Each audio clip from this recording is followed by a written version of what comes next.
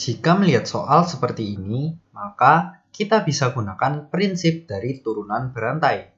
Jika kita mempunyai Y sama dengan Fx pangkat N, maka Y aksen atau turunannya akan sama dengan N dikalikan Fx dipangkatkan N dikurangi 1 dikalikan F aksen X atau turunan dari Fx. Sehingga untuk Y sama dengan X ditambah sin X dipangkatkan 5, dy per dx atau turunannya akan sama dengan 5 dikalikan x ditambah sin x dipangkatkan 5 dikurangi 1 dikali turunan dari x ditambah sin x yaitu 1 dikali x pangkat 1 dikurangi 1 ditambah turunan dari sin x yaitu cos x.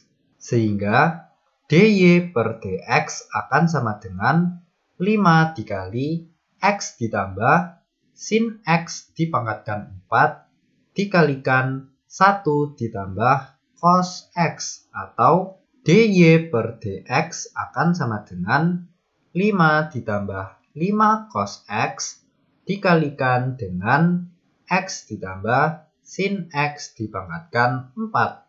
Sampai jumpa di pertanyaan berikutnya.